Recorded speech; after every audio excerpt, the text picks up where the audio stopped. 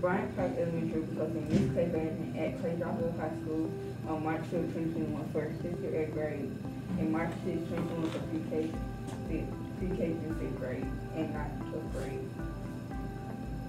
If you have any questions, please call Bryant Park Elementary at 205-379-2850. On Monday, February 8th, we will begin our before and after school tutoring program. Tutoring will be offered in the afternoons on Monday and Wednesday from 3.15 through 4.15 p.m. In the mornings on Tuesdays and Thursdays from 6.30 to 7.30 a.m. Please note that transportation will be provided, I mean, transportation will not be provided, and we ask that students be picked up at 4.15 in the afternoon.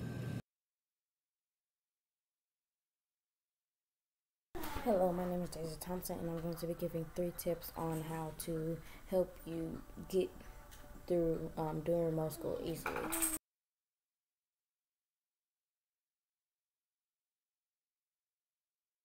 Step one, having a goal, whether it's a daily goal, a weekly goal, um, a monthly goal, an annual goal.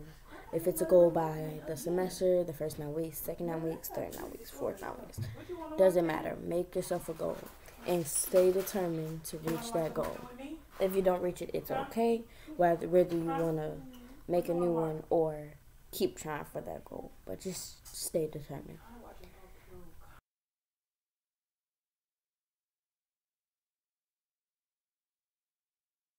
Tip number two is having a schedule, and I don't mean like the you know the staying on the school schedule. You do have to do that, but make yourself an own schedule where you have like a break time, a time for homework, a time to wake up in the morning. Stay on a schedule. It helps a lot, and it and it will help you stay organized and focused for the day.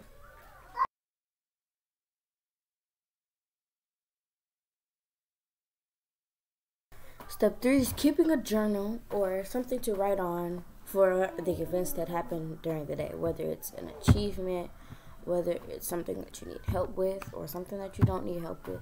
Just keep something to write on so that you can kind of vent out anything that you don't need at the moment when doing school. Because once a lot of stuff builds up, it gets really hard to try to think about all of that plus do schoolwork.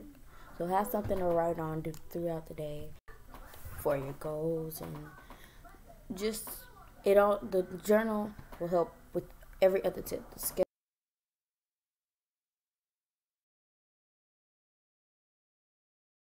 Step two is um